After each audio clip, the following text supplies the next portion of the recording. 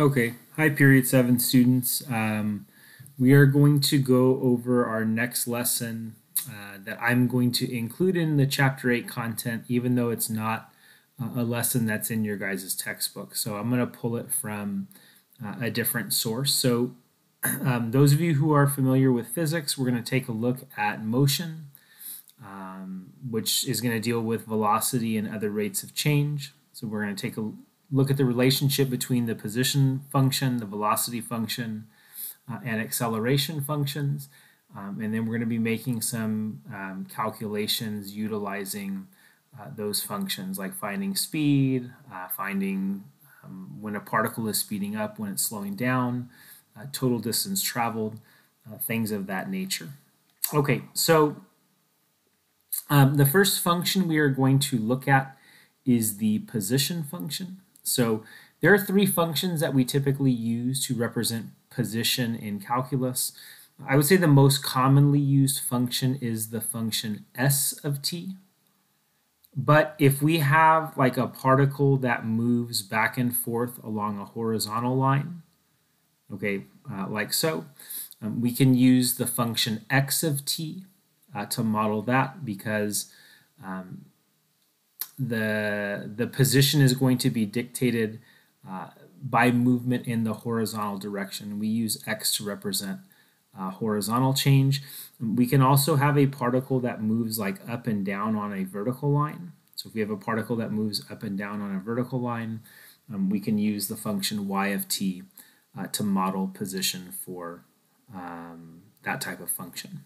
Okay, now um, we are going to define velocity as the rate of change of position. And um, if you think back to like what we covered in chapter four when we were first introduced to rates of change, um, there were two types of rates of change that we looked at. Um, the first being average rate of change. Okay, so we can compute uh, the average velocity on the closed interval from A to B um, by taking, so this is V sub AV, so uh, velocities, the average velocity. Um, we can calculate that by taking S of B, so the position at our ending point, minus the position at our starting point, S of A, all over B minus A. So again, average rate of change measures the slope of the secant line that contains the endpoints of your interval. And like if you look at um, the expression that we set up for average velocity, like um, the units make sense as this is going to compute a velocity of some kind because the numerator um, is going to be a change in position. So we're going to have some kind of linear measurement for change in position. Let's say, for example, um, we use feet in our numerator. And then our denominator, b minus a, is going to correspond to a change in time. so let's say time is measured in terms of seconds.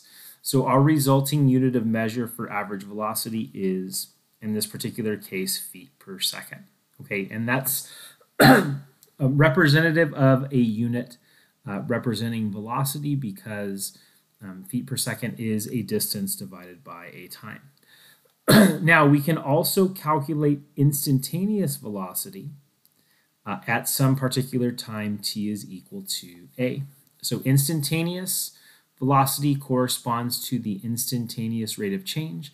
And what we've used to calculate instantaneous rate of change in calculus is the derivative. Okay, so um, if velocity is the rate of change of position, that means that velocity v of t is going to be equal to s prime of t. Okay, so velocity is the instantaneous rate of change of position or the derivative of position. And then if we want to calculate velocity at time t is equal to a, um, we're going to evaluate both of these at uh, t is equal to a. So v of a is going to be equal to s prime of a. Now, the unit of measure for this would also be a distance divided by a time. And we know that because, like, if I take s prime of t, another way for me to represent s prime of t is ds over dt. So that's one of the notations for a first derivative that we can use. And we should remember back in uh, the lesson on related rates, when we write our derivative in this format here, ds over dt, um, the unit of measure is dictated by the shape of our derivative. So you're going to have some distance. Uh, let's say we use like meters this time to represent distance, um, divided by the unit of measure of time. So if we use seconds for that, ds dt or s prime of t is also going to be measured in a distance divided by time, in this case meters per second. Okay, um, there's one more calculation that we're going to uh, make, and then we'll talk about acceleration next. So we define speed as the absolute value of velocity. Okay, so if we want to calculate speed, um, that's going to be equal to the absolute value of uh, velocity. So when we try to determine the speed of a moving object, speed is always going to be some positive quantity or zero. okay, uh, and then lastly, acceleration uh, is the rate of change of velocity with respect to time. Okay, so if acceleration is the rate of change of velocity, that means that a of t is going to be equal to v prime of t and if we relate acceleration to position, we know velocity is the derivative of um, position. So that's going to make a of t equal to s double prime of t. So unit of measure, like we know that v prime, we can represent v prime as dv dt. So your unit of measure, let's say it's um, velocity is measured in terms of um, feet per second.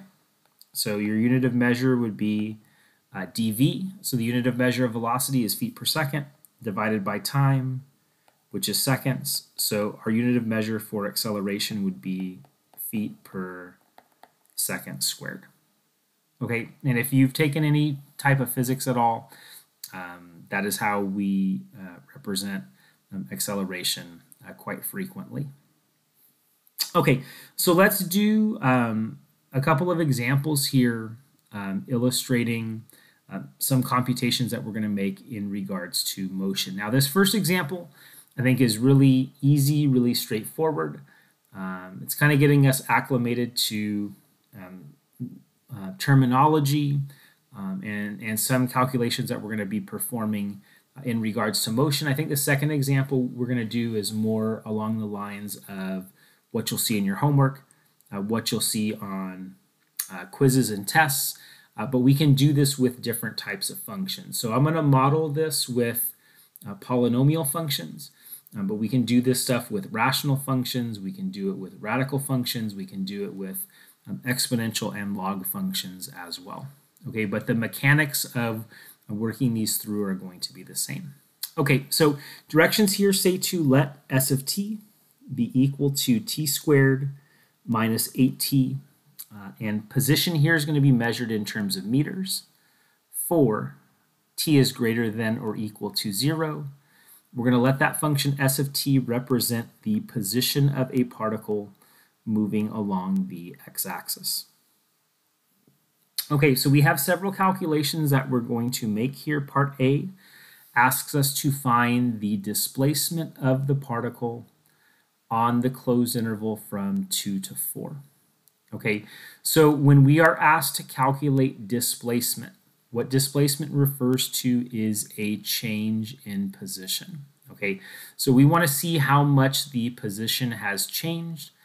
Uh, in the two second window between time t is equal to 2 and time t is equal to 4. Okay, so if we want to calculate this here, um, the change in position is going to be our position at our ending time. So that's s of 4 minus the position at our beginning time, which is s of 2. Um, so we can plug both of these values into our position function. So s of 4, I'll do the calculation on the side. Um, that's going to be 4 squared, which is 16, minus uh, 8 times 4, which is 32. So that winds up becoming negative 16. And then we're going to subtract s of 2. Okay, so s of 2, 2 squared is 4, minus 8 times 2, which is 16. 4 minus 16 is negative 12. Okay, so negative 16 minus negative 12 is going to wind up becoming negative 4.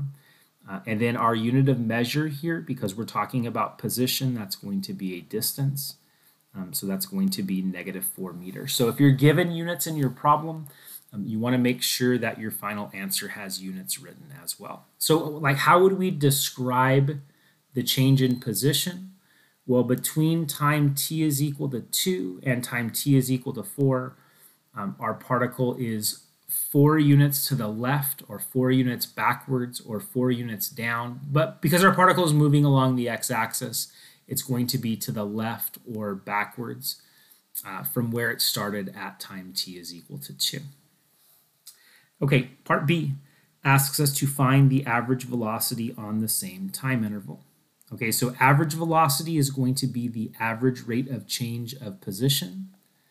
So V sub AV uh, is going to be uh, our position at time t is equal to 4 minus our position at time t is equal to 2 all over 4 minus 2. So we already calculated in part A s of 4 minus s of 2. Um, that's going to be uh, negative 4. And then 4 minus 2 is going to be 2. So that winds up simplifying to negative 2. And then if we think about like how this expression here is set up, um, that's going to dictate our unit of measure. So S of 4 minus S of 2, the numerator is going to be a displacement or a distance, which is measured in terms of meters. Uh, and our denominator uh, is a change in time, which is measured in terms of seconds. So that is our resulting uh, average velocity on that time interval. Okay, part C asks us to find the velocity of the particle at time t is equal to 2.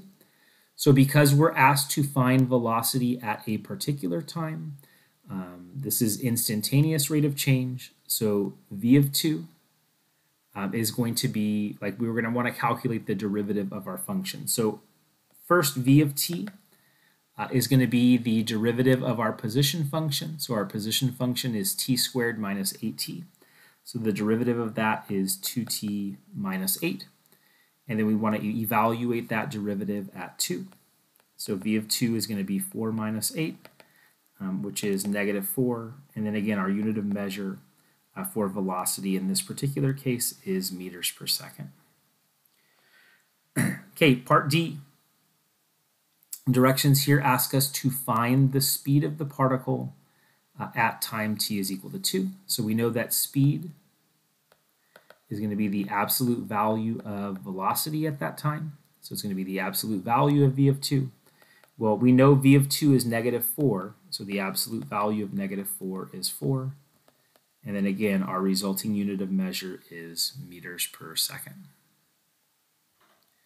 Okay, so for part E, question asks when is the particle moving left, when is it moving right, and when is it stopped? Okay, so um, the direction of motion is dictated by our velocity function. Okay, so if velocity is positive, it's going to be moving to the right. If velocity is negative, our particle is moving to the left. And if velocity is zero, our particle is stopped. So what we're going to do is we're going to take our velocity function v of t, which is 2t minus 8, uh, and we want to calculate where v of t is equal to 0. Okay, so that's going to happen when uh, t is equal to 4. So we're going to make ourselves a sign chart for velocity. I'm going to put that value on our sign chart and also, uh, and I'm going to do this in a different color. Um, we, our position function here is only defined when our t values are greater than or equal to zero. Okay, so I'm going to go back to my number line here, and I'm going to do this in a different color. Uh, I'm going to put 0 on the number line, and I'm going to circle it because it's not a 0 of our velocity function. But I'm going to put that on the number line so I don't test any values to the left of 0. Okay, So if I pick a number between 0 and 4, let's say I pick 1, when I plug that into my velocity function, velocity is negative on that interval. And if we pick a value bigger than 4, uh, velocity is going to be positive. Okay, so uh, if we want to calculate, and we're going to write this in interval notation, okay, when our particle is moving to the left, our particle is moving to the left when velocity is less than 0. Now, 0 is not a 0 for the velocity function. And if we plug 0 into the velocity function, we find that velocity is negative at that point. So our particle is moving to the left at time t is equal to 0, and it stays moving to the left until we get to 4. Okay, our particle is moving to the right uh, when um, velocity is greater than 0, so that happens on the open interval from 4 to infinity. And then our particle is stopped when velocity is equal to 0, and that happens at time t is equal to 4. So if we want to write a single number in interval notation, we just use set braces for that number. okay, so that gives us like an idea of like how our particle moves. So it starts out moving to the left for the first four seconds. It stops at time t is equal to 4, just for a split second, and then it moves to the right uh, on the interval from 4 to infinity.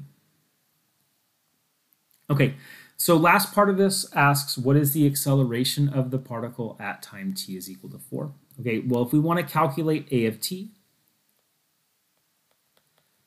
a of t is just going to be the derivative of the velocity function. So our velocity function is 2t minus 8. The derivative of that is 2. And if we want to calculate acceleration at time t is equal to 4, well, there's nowhere for me to plug 4 into that function. So the acceleration at any time is going to be equal to 2. Uh, and then our unit of measure here is going to be meters per second squared. Okay, so our particle always has uh, an acceleration of 2. Okay, so one more thing to talk about, and then we'll wrap up this first video, uh, and then I'll start a second video for the next example. Okay, so the question asks, when does a particle speed up and when does it slow down? All right, so I want you to take a moment to think about that. Uh, if you're a physics student, um, this should be like a good review for you. Uh, and if you've never been exposed to physics before, um, it's going to give you something to think about. okay, so the analogy that I use, or uh, the way I use to describe speeding up or, or slowing down, uh, is being in a car. So some of you guys may, you know, have a license or may have a permit. All of you have at least driven in a car before uh, as a passenger. Um, so you should be able to, to relate to what I talk about. So there are two circumstances where we speed up in a car. Okay. Uh, and the first circumstance is when we are going forward. Okay. So if we are going forward, um, we know that velocity is going to be greater than zero. Uh, and we speed up in a car going forward when we step on the gas.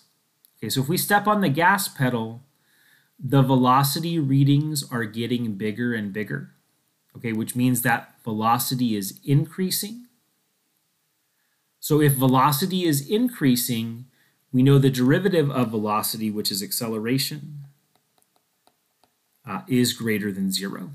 Okay, so we can speed up when both velocity and acceleration are greater than zero. Uh, and the other circumstance in the car where we can be speeding up is when we are going backwards. Okay, so if we're going in reverse, we know that velocity is less than zero. And when we step on the gas going backwards, the velocity readings become more and more negative. Okay, so if the velocity readings are becoming more and more negative, that means that our velocity is decreasing. And if velocity is decreasing, that means the derivative of velocity, which is acceleration, is less than zero. Well, what do these two circumstances have in common? Well, both velocity and acceleration share the same sign. Either both are going to be positive or both are going to be negative. Okay, so a particle speeds up when velocity and acceleration share the same sign. Okay, when does a particle slow down? Okay, so a particle slows down. Again, pick, let's picture this being in a car. Okay, so we could be going forward in a car, okay, where velocity, v of t, is greater than zero. And we slow down in a car when we press the brake pedal. Okay, so when we press the brake pedal, if velocity is positive, when you press the brake pedal, the velocity readings get closer and closer to zero. Okay, which means that your velocity is decreasing. And by definition, if something is decreasing, that means its derivative is less than zero. Okay, so the derivative of velocity, which is acceleration, is less than zero. Okay, we can also be going backward in a car. So if we're going backward in a car, velocity v of t is less than zero. And if we press the brake pedal, our velocity readings are going to get closer and closer to zero, which means our velocity readings are increasing. So by definition, a function is increasing when its derivative is greater than zero. Okay, so the derivative of velocity is acceleration. That is going to be greater than zero. Well, what do these two circumstances have in common? They have in common the fact that both velocity and acceleration have opposite signs, okay? Which tells us that a particle slows down when velocity and acceleration have opposite signs. Okay, so that's something that we're going to go over in the next example that we look at. Um, when is a particle speeding up? When is a particle slowing down?